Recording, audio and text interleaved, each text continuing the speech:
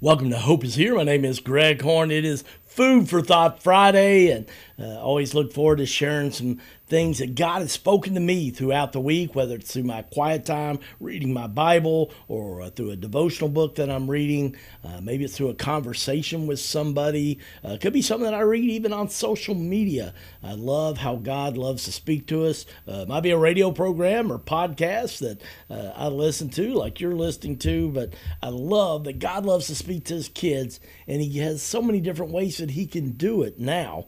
And so today I want to start off sharing uh, something I read earlier this week. Uh, my good friend Yusef Mason uh, posted this, and uh, I just thought, you know, somebody needs to hear this on Food for Thought Friday. And he posted, Speak life over people, remind them of who they are. Pray over them, empower them, give them grace when they need it. Be a voice God uses in their life today. In a world where the enemy is constantly speaking lies, choose to speak life over them. Friends, I know somebody listening today or watching on our YouTube channel, you needed to hear that. Uh, I want to speak life over you today.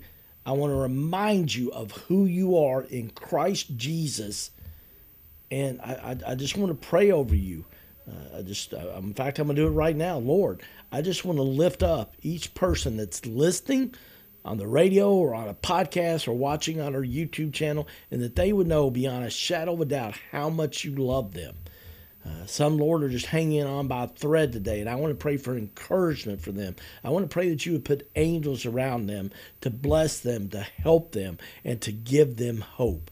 God, I want to pray you would just show up uh, for those that just uh, they said, you know, man, I just I feel like life is hopeless. That you would just show up in a way today, whether it's through this prayer we're doing right now, or through somebody else, or something that happens today, that would just let them know that you are still on the throne, that you know that they are alive, that you love them, and that you are for them.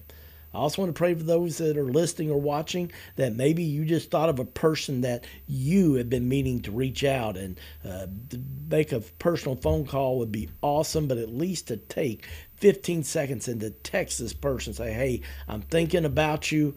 Uh, I love you, and I want you to know that God loves you. And so, if all the people listening or watching did that to one person, think about just the amount of hope that could be spread today. So, Father, thank you that you hear these prayers. Thank you that you love us. Thank you that you are for us, uh, that we are more than conquerors through Christ Jesus. And it's in His name I pray. Amen. Something else that really uh, spoke to me this week was uh, good old Jeremiah 29 11. Um, somebody posted this verse, and uh, man, it's just one of those that I've read it, but one time when I read it, I thought, wow I did not realize this one word was in this one verse three different times.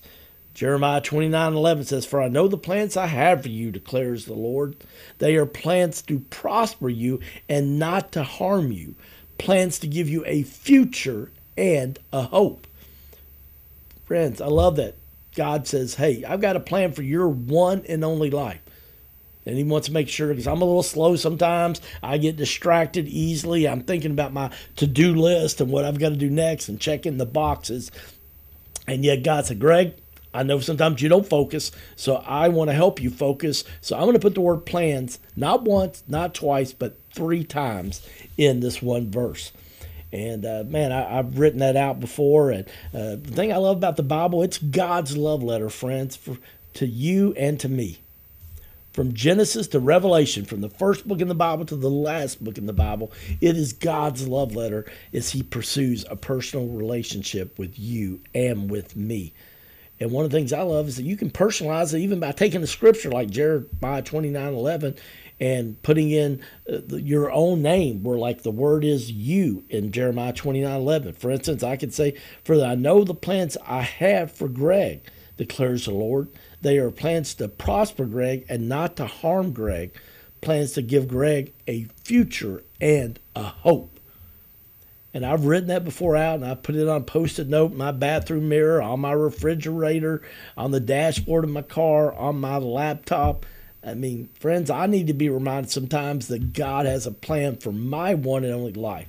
Because sometimes we start playing that compare game. And we talked about that earlier this week on a Monday and Tuesday's programs a little bit. And I talk about it often because I think that's what gets us confused and discouraged so often is we try to live out somebody else's plan for their life.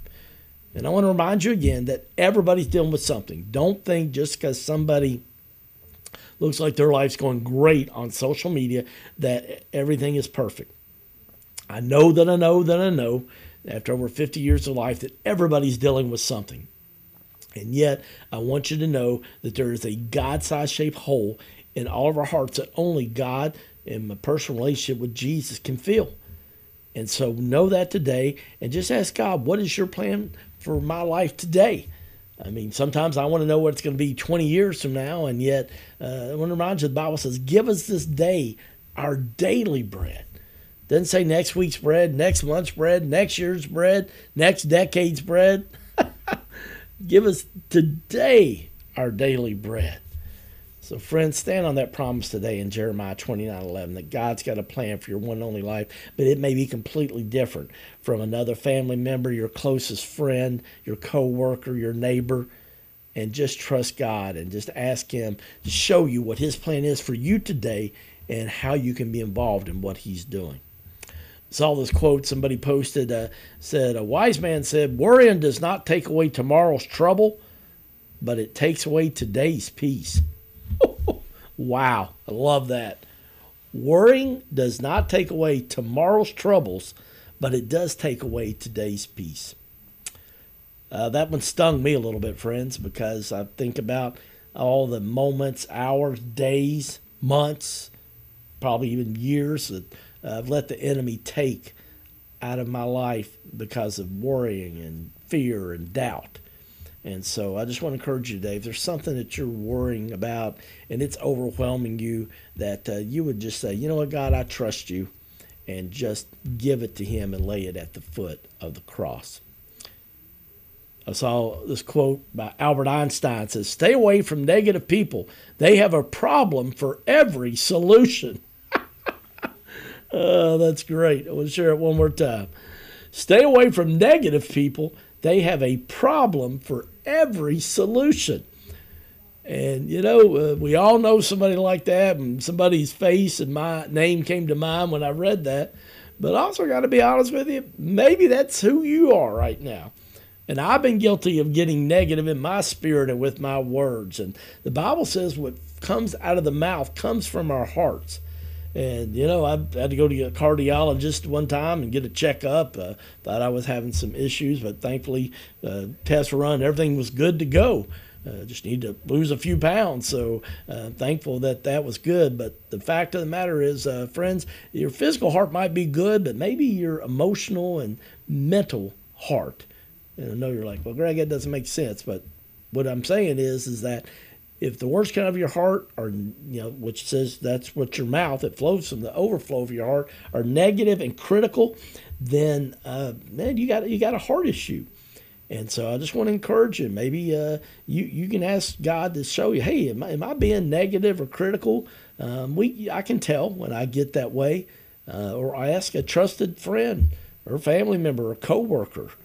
So I know that I know, friends, that uh, sometimes we all have to kind of take a look inward, and we, you know, we're looking at other people's shortcomings and their challenges, and yet uh, I think the main thing is we just need to look inside our own heart and our own lives and see how we can grow and improve that. I love this quote by Mother Teresa that she said many years ago. She said, "If you want to change the world, go home and love your family." Wow, so powerful by such a physically, uh, you know, uh, I'm not the word, a, a, woman that did not have great physical stature, I'll say it that way. Mother Teresa, uh, you know, not very tall, uh, worked in the just with the poorest of the poor, but her life, even though small physically in stature, spoke volumes. Uh, just had a massive impact that we still talk about it today.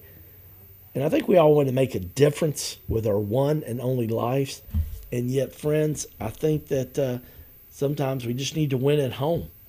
And we need to just go love our family. and just love those people closest to us. And that's how we can make a lot of ripples, friends. Instead of trying to change everybody else, let's just love our family and help them to love others and see what kind of difference it makes. First John chapter 4 19 says, We love because God first loved us. Friends, you can't love others till you know how much God loves you. And maybe today you're struggling with knowing that. Maybe you're dealing with rejection, emptiness, hopelessness, discouragement, financial challenges, physical health challenges, mental and emotional wounds. And yet, friends, I want you to know today it's simple, but it's powerful. It's a game changer to know that God loves you. And, friends, He loves you not where you could be, not where you even maybe should be, not where you even thought you would be at this season of your life, but He loves you exactly where you're at today. And He just wants you to know that He's not just your Savior, where you can go to heaven one day when you take your last breath and complete your journey on this earth. But you know what? He is hope for today. And he is going to walk with you and he is going to turn your mess into a message. And he's going to turn this test into your testimony. And that your scars someday will become someone else's stars and you know the good news about scars, right? Is that means that you survived. oh, man. Uh, had my ACL, tore my ACL. Uh, hard to believe now. It's been thir- over 30 years uh, back when I was a young whippersnapper. but I've still got a pretty good gash uh, there, a wound, a scar on my knee. But you know what? I've been very blessed. Uh, Dr. Ben Kibler did my surgery at Lexington Clinic, great orthopedic surgeon, also a strong man of God and uh, he did a phenomenal job. And I've been blessed. I've never had an issue, zero out of it. In fact, uh, that that knee and that leg actually works better than the one that, uh, that wasn't operated on. So, friends, God can do those type of things, and He will bless you.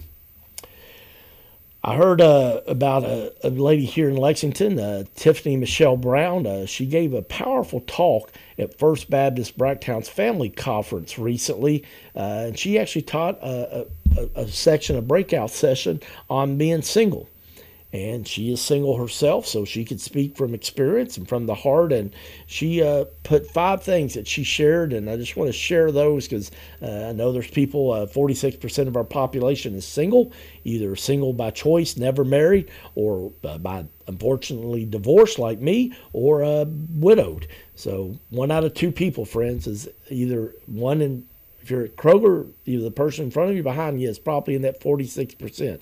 But five things she shared about being single. One, singleness is a gift from God. Number two, God should be the foundation of any relationship we're in. Number three, set healthy boundaries and don't compromise your standards. Number four, it's okay to pour into yourself, which is one I really struggle with. And number five, just focus on pleasing God today. So I want to encourage you, friends, to just uh, know that that just because you're single, Jesus was single. I want to remind you of that. Okay, and so we have Jesus. If you're a follower of Jesus, you're accepting. You have Jesus, God the Father, and the Holy Spirit. You have the Trinity. So know that you're not alone today, and that God is with you, and invite Him to be a part of your day, and know that there's always hope because of Jesus.